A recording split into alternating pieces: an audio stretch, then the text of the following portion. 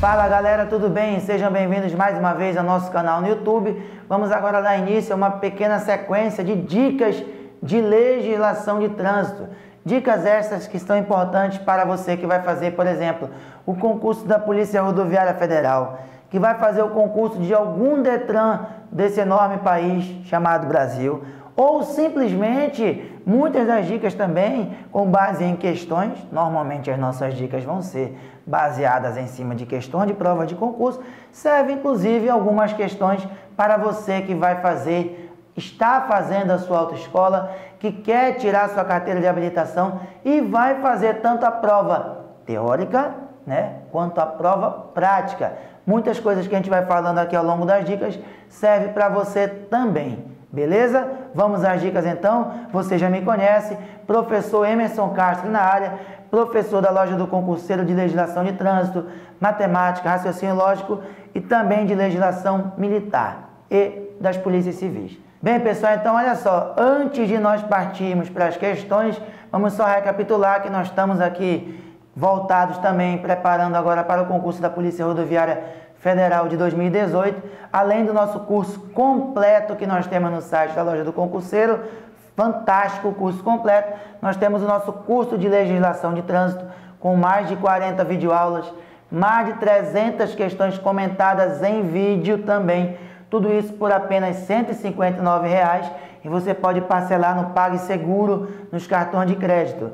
Lembrando a vocês que qualquer dúvida, informações, você pode acessar o nosso WhatsApp, que é o DDD 91 98561 9696. Repetindo, DDD 91 98561 9696, de segunda a sexta-feira, de 8 às 12 e 14 às 18, claro e evidente, com exceção dos feriados. Tá certo? Qualquer dúvida, então, acesse o WhatsApp ou o nosso site lojadoconcurseiro.com.br para esse curso ou para outros tantos que nós temos lá. Tranquilo? Vamos adiante então. Primeira questão que a gente traz para você é da banca IBFC do concurso do INDEC 2016. Olha o que diz. Isso aqui é importante. Como eu te falei, a gente já começa com uma questão que serve para a PRF, para a DETRAN, para a Secretaria de Trânsito de Transporte dos municípios e para você que está me assistindo, que está fazendo a sua autoescola. O artigo 29 cai muito nas provas de autoescola. Olha aí. De acordo com o artigo 29 do Código de Trânsito Brasileiro, quando os veículos transitando por fluxos que se cruzem e se aproximarem de local não sinalizado terá preferência de passagem. Veja que nós estamos falando de um cruzamento não sinalizado. Não sinalizado é não tem semáforo, não tem placa de parada obrigatória, não tem placa de dê a preferência, tá certo? É um cruzamento onde veículos estão chegando nele e não é sinalizado. E tem um no caso de apenas um fluxo ser proveniente de rodovia, aquele que estiver circulando por ela. Então quer dizer, meus amigos, que quem é que tem preferência de passagem? É aquele que está circulando pela rodovia? Sim, tá certo?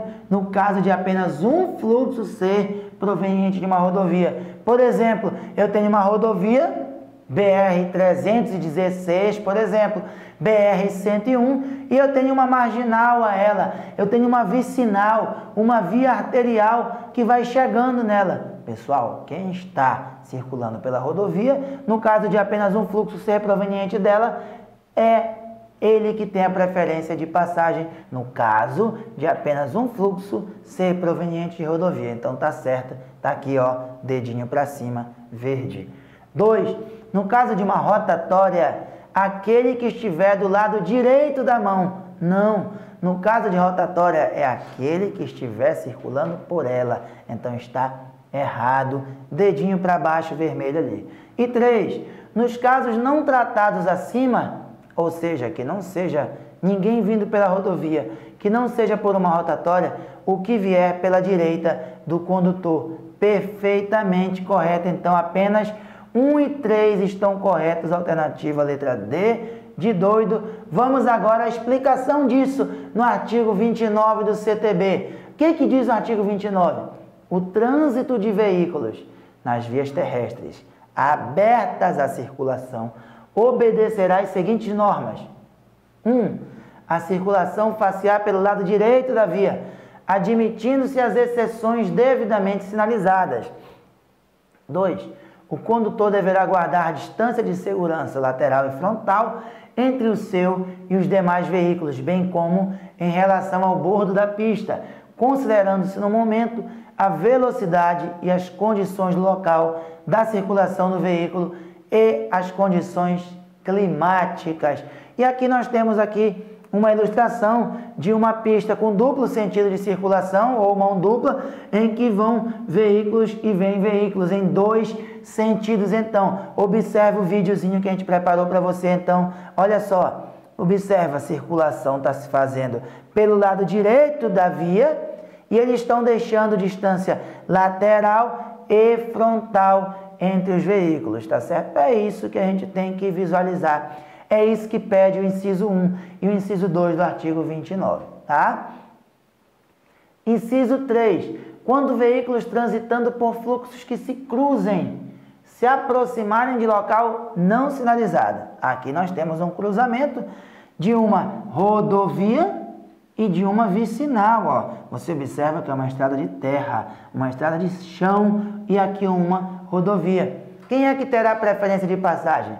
No caso de apenas um fluxo ser proveniente de rodovia, aquele que estiver circulando por ela, ou seja, nesse caso aqui, o veículo azul está se deslocando de baixo para cima e nós temos uma caminhonete aqui querendo fazer o cruzamento. Será que é o veículo azul que tem que parar para a caminhonete fazer o cruzamento?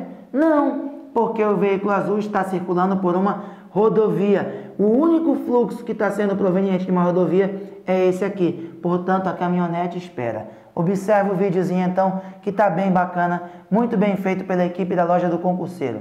Olha só, os veículos estão, ó, a caminhonete chega, a caminhonete fica esperando para fazer o cruzamento, o melhor momento, o momento oportuno, por quê? Ah, ó, aí cruza. Por quê? Porque apenas um fluxo é proveniente da rodovia. Beleza, meus amigos? Então, tranquilo isso? Vamos em frente. No caso aqui na linha B, de uma rotatória, aquele que estiver circulando por ela. Temos o automóvel azul e o automóvel vermelho. De quem é a preferência aqui? A preferência é do automóvel azul, porque ele está circulando pela rotatória. Então, o veículo vermelho aguarda o veículo azul passar e todos os outros que tiverem, no caso, para poder entrar na rotatória. Observa. Olha aí, Chegou, o vermelho está chegando e agora o azul passa porque está circulando pela rotatória. Depois o veículo vermelho vai, certo? E na letra C, nos demais casos, o que vier pela direita do condutor. Nos demais casos, ou seja, não é uma rotatória e não tem apenas um fluxo vindo de uma rodovia. Por exemplo, aqui dá a ideia de que é num bairro. Então são duas vias locais, por exemplo. Quem tem preferência é o veículo azul ou o veículo vermelho? É só você pensar se posicionando dentro desse veículo. Vamos imaginar que você se posicione como o veículo vermelho. O veículo azul está à sua direita. Se você se posiciona como o veículo azul, o veículo vermelho está à sua esquerda. E aí, nos demais casos, o que vier pela direita do condutor. Então, o azul vem pela direita do vermelho. Portanto, a preferência de passagem é do veículo azul. Note o vídeo. Observe, chegaram juntos, o azul passa, o vermelho espera. Isso aqui, para quem está fazendo autoescola, é uma mão na roda visualizar essa situação, assim como o futuro policial rodoviário federal, meu futuro colega de profissão, os colegas que vão passar por Detran, Secretaria de Trânsito e Transporte dos Estados também, certo? Segunda e última questão é da prova da Polícia Rodoviária de 2008 foi a prova que eu passei. Tenho muito orgulho de falar isso, porque foi uma prova que, graças a Deus, me deu muita sorte também. Estava bem arrumadinho ali e, graças a Deus, eu consegui a aprovação.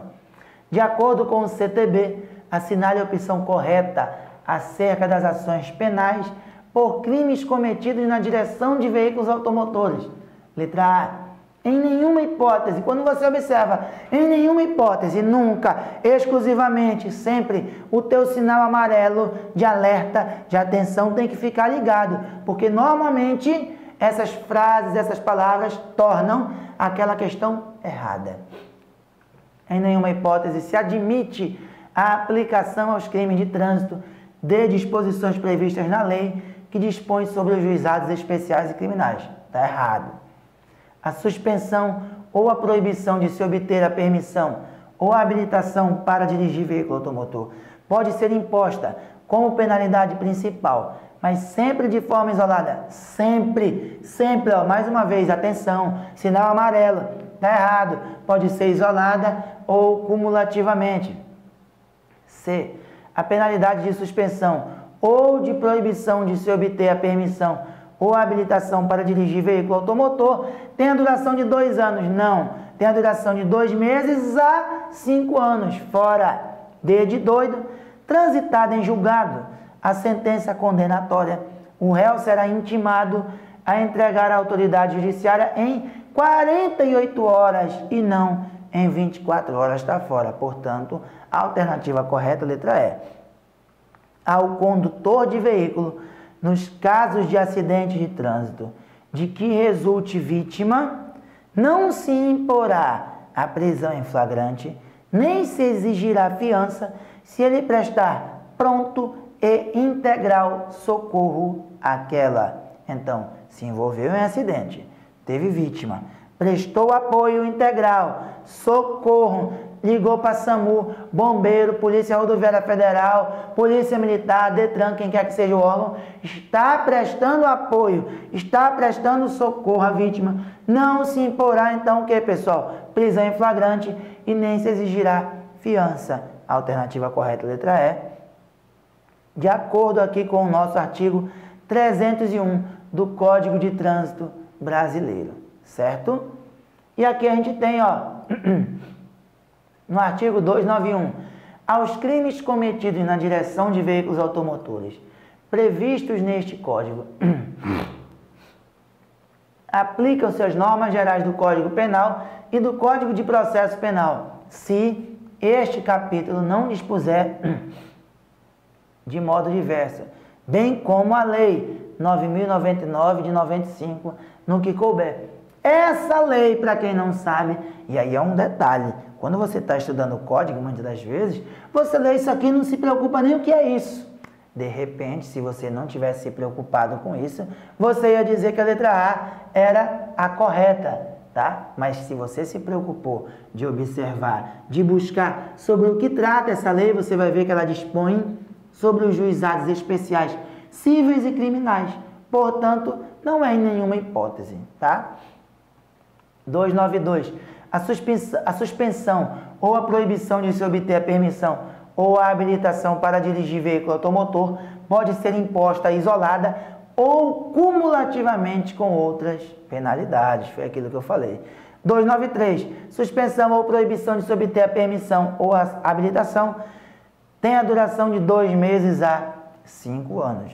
Transitado em julgado, o réu será intimado a entregar à autoridade judiciária em 48 horas a PPD ou a CNH. Falamos de suspensão judicial aqui relacionada a crime. Vamos lembrar que nós temos também uma suspensão administrativa do artigo 261. Existem duas situações. Aquela em que o infrator atingir a contagem de 20 pontos no período de 12 meses. Lembrando que as infrações têm quatro naturezas: leve, média, grave e gravíssima. Leve, quantos pontos? Três pontos. Média, quantos pontos? Quatro pontos. Grave, cinco pontos.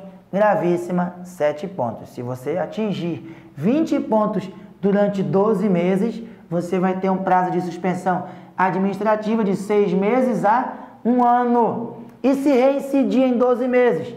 Isso aí, ao invés de seis meses a um ano, vai passar para oito meses a dois anos. Situação 1. Um. Segunda situação, por transgressão às normas estabelecidas neste Código, cujas infrações prevêem de forma específica a penalidade de suspensão de do direito de dirigir. Dois a oito meses, exceto para aquelas infrações com prazo descrito no dispositivo infracional, como por exemplo a infração de alcoolemia, que já prevê o prazo para a suspensão administrativa. Se reincidir no prazo de 12 meses, ao invés de 2 a 8 meses, passa a ser de 8 a 18 meses. Beleza? Bem, meus amigos, essa foi a nossa dica relacionada à legislação de trânsito de número 1. Espero que você tenha gostado dessa dica. Como a gente falou também nesse vídeo, você pode se conectar conosco da loja do concurseiro via WhatsApp. Aproveito para te dizer também o seguinte: segue a gente no Instagram. Você tem no Instagram lá, arroba professor Emerson Castro. Tem outro Emerson Castro lá, mas é o que eu uso mais para particular. A gente quer que você, enquanto aluno, se comunique conosco, até mesmo por direct, no Instagram, arroba professor Emerson Castro. Temos o nosso Facebook também, a nossa página, Professor Emerson Castro. Fica atento, continua conectado, tanto no YouTube quanto nas nossas redes sociais, que a gente vai dando cada vez mais dicas e comentando as coisas para ti aí, para que você possa avançar cada vez mais e ser aprovado no concurso que você tanto almeja, ou simplesmente para que você possa melhorar até mesmo na sua autoescola e conseguir tirar logo a sua permissão para dirigir. Tá certo? Fica com Deus, bons estudos e fé na missão. Valeu!